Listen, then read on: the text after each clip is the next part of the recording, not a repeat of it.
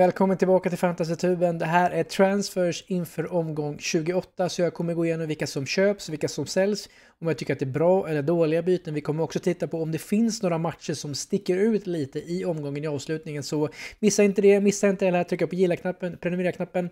1100 prenumeranter och vi jobbar med 11 till för att nå målet 1111 prenumeranter innan säsongen är slut. Och kan du tänka dig supporta det så gör det genom att prenumerera. Men även om du inte gör det så hoppar vi in och kikar lite på transfers som görs. Och eh, till att börja med så är det ju Berg som säljs eh, och eh, helt rätt att sälja honom. Inga konstigheter alls. Han är skadad, kommer vara skadad, det är bara att sälja honom. Hovlands plats var lite osäker och dessutom Häckens extremt tuffa schema gör ju att eh, det känns som ett givet val också med tanke på eh, Europamatcherna som kommer slita lite på spelarna. Så han eh, tas ut. Jag skulle vänta lite med Dalin som säljs som trea här för även om eh, det är ganska tuffa matcher för Malmö så jag räknar ändå med någon nolla från Dalin så han behöver inte vara ett dåligt val att sitta på. Men som sagt, får vi rapporter om att han är skadad så eh, är det bara att sälja honom helt klart. Men man kan avvakta lite där för det brukar inte vara så jättemycket poäng i målvaktsbyten. Eh, spelare som man skulle kunna gå på till exempel Nordfält men samtidigt det kanske blir en nolla mot Halmstad men det kanske inte blir någon borta mot Göteborg och Värnamo kommer nog göra mål i sista så lite osäkert är på nollorna.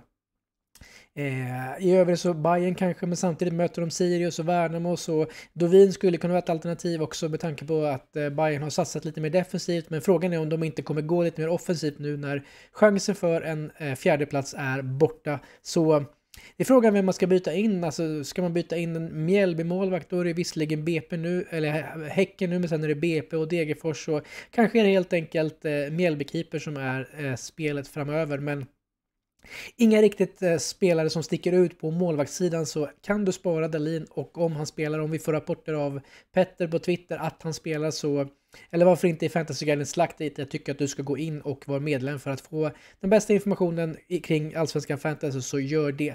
Så, men Petter brukar också lägga ut lite på Twitter ibland så följ honom där, Petter Ason. Um, ehm, Kikar vi mer lite så är det Saleta som säljs och han kommer troligtvis bli borta mot Halmstad, sen är det Göteborg och Värnamo och jag tror att han absolut kan göra ett mål eller framförallt en assist i en eller båda av de tre avsluta, två avslutade matcherna. Men frågan är om han kommer bli klar. Möjligtvis blir han klar 30, men jag, jag skulle bli väldigt, väldigt förvånad om han spelar mer än en match till den här säsongen med tanke på hur det såg ut. Även om han gick till bussen själv. Erabi också, han är också borta resten av säsongen, det är bara att byta ut honom. Helt rätt. Tillin tycker jag han har fått sina chanser. Han borde gjort mål nu och det är otur att han inte lyckas peta in bollarna. Men han är ur form och är inte där så det är bara att byta ut. Tufft spelschema dessutom för Malmö framöver. Vi har eh, Viktor Granat också som byts ut, helt rätt där också. Persson också tycker jag är det svagare kortet skulle man haft Ali som jag har varit inne på hela säsongen, eller halva säsongen, andra halvan. Tycker jag att han är ett bättre alternativ, men Persson kan gott få gå för han är inte så involverad och eh, ibland lite utestängd på kanten där också.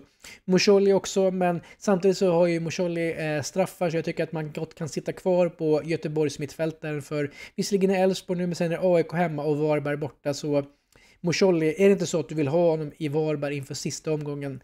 Eh, jag skulle råda dig att spara debutet och kanske bita i att han inte tar så många poäng mot Elfsborg, kanske gör någonting mot AIK, men framförallt så känns ju han som ett möjligt kaptensalternativ att sticka ut med om man vill inför Göteborg när de, tar, eh, när de, gästar, när de åker bort till Varberg och gästar det där borta. Så Musholi tycker jag ska spara bytet. Rygaard också lite osäkert. Han fick ju inte så mycket poäng sist och har varit lite kallare nu på sistone även om han gjorde poäng matchen innan. Så det behöver inte sälja honom men känner att du kan göra bra nytta av pengarna. Till exempel ta in en Besara som har en riktigt fin match nu som vi har nämnt tidigare mot Sirius. Sen är det Värnamo borta lite tuffare kanske men jag tror att absolut att Besara kan få en assist den matchen också. Värnamo brukar kunna släppa in mål hemma på hemmaplan och har gjort det nu ganska mycket. Och sen är det Halmstad hemma, en riktigt fin match i avslutningen där jag tror att Bayern inför hemmafansen på Tele2 kommer vilja göra ett ordentligt avtryck.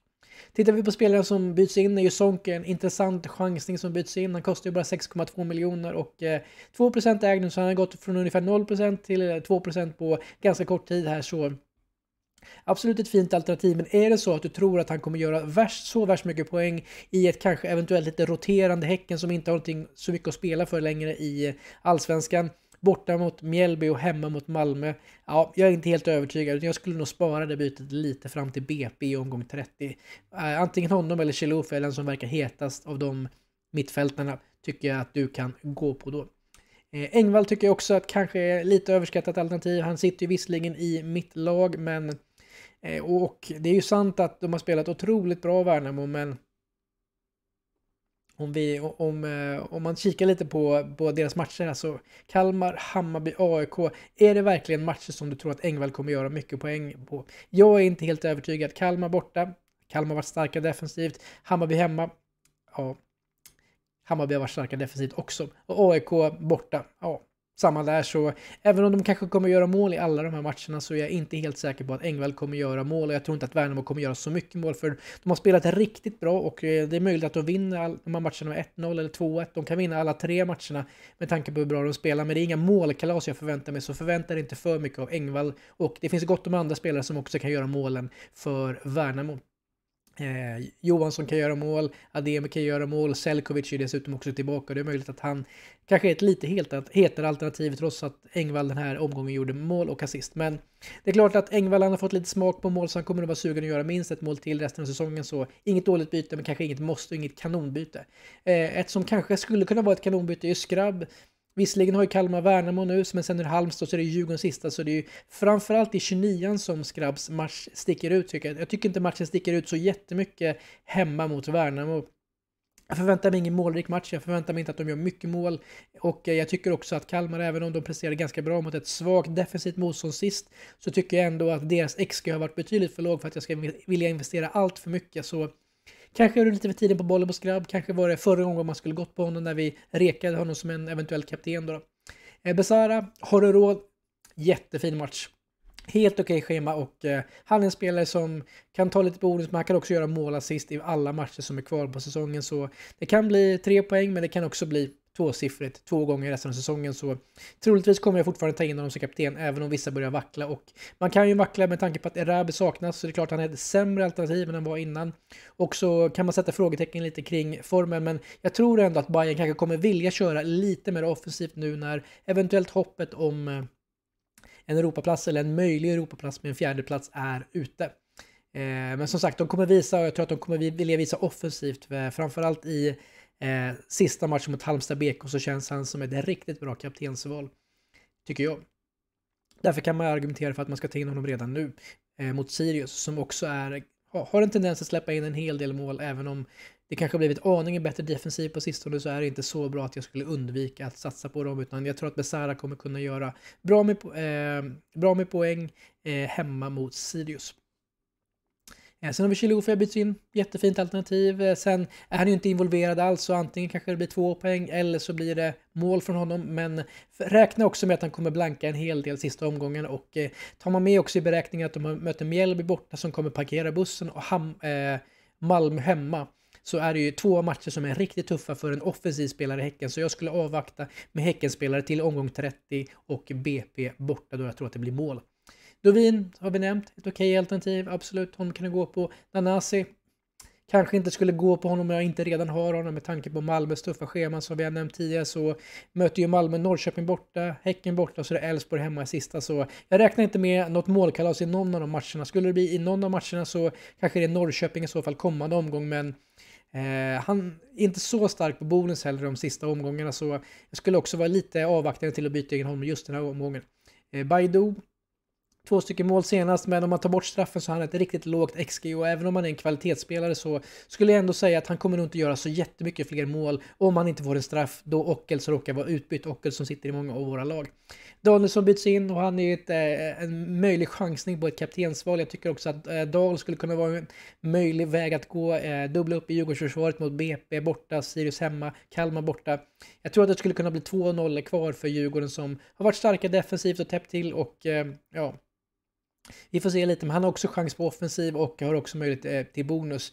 Dahl så. Men Danielsson är en möjlighet att ha. Han skulle ju fått den här straffen i förra omgången, tycker väl eh, eh, de flesta av oss, eh, kanske inte alla de som inte hade honom, men eh, en objektiv tittare brukar ju tänka att när man har upp handen på det sättet som Besara gjorde, då borde han fått ett gult kort, han borde varit avstängd nästa match. Och dessutom så borde ju Danielsson ha fått ett straff, vilket hade kunnat gett oss med honom i laget lite grönare pilar. Kikar vi lite avslutningsvis på matcherna som är kvar så ser vi här att AIK är ett helt okej schema. Halmstad, Göteborg, Värnamo.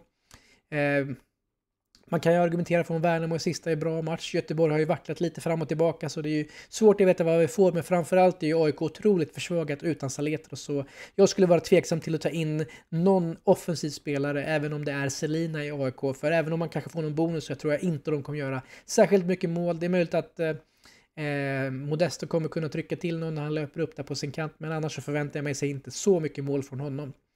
Eh, vi ser också att Häcken har tuff match, eh, 28-29 här. Vi ser också att BP, ja, de är vi kanske inte så intresserade av ändå. Degerfors också har ju Varberg här. Man kan argumentera att om du har Degerfors-spelare som spelar så kan du spela dem i de här matchen eh, borta mot Varberg där jag tror att det kommer kunna bli en del mål och där jag tror att jag kommer spela Krasniqi i min startelva i Varberg. Djurgården som sagt, BP borta. Det är inte säkert att de håller nollan, men det finns chans på eh, offensiva returns också för försvarsspelarna där. Så absolut ingen dålig match att spela Djurgårdsförsvar och inte spela Djurgårds offensiv. Och egentligen skulle vi vilja ha offensiven i Djurgården, men vi har ju egentligen inget som är intressant som vi vill ha. Möjligtvis Mange Eriksson, men i så fall blockerar ju oftast bort eh, det. Har ju inte kunnat ta in Besara, som jag tycker är ett mycket bättre alternativ inför de sista omgångarna. Eh, Göteborg är tufft nu, sen är det AIK lite lättare och sen är det Varberg riktigt fin match i sista så behåll dem och eh, möjligtvis finns det en möjlighet att chansa och trippla upp på Göteborg i omgång 30.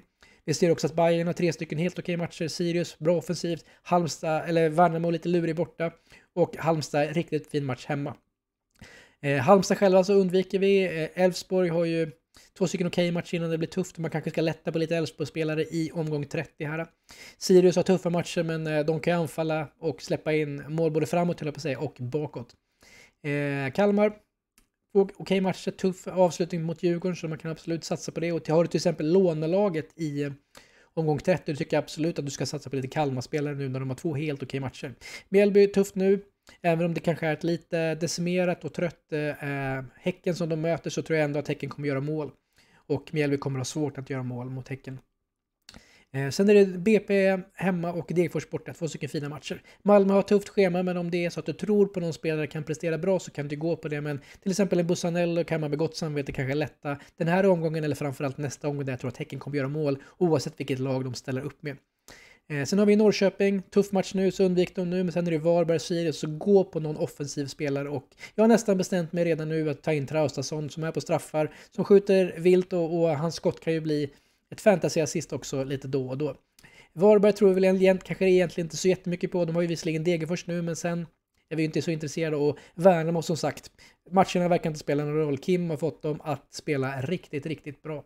Så det var transfers och lite reaktioner på matcherna om det finns några matcher du ska satsa på. Är det så att du gillar sånt här material så dra en like, tryck på prenumerera-knappen. Det är helt gratis och vi jobbar ju 11 prenumeranter till så vill du vara en av de 11 så tryck på prenumerera-knappen. Helt gratis. Helt gratis också att gilla men eh, ja, det är fantasy inte meningen med livet.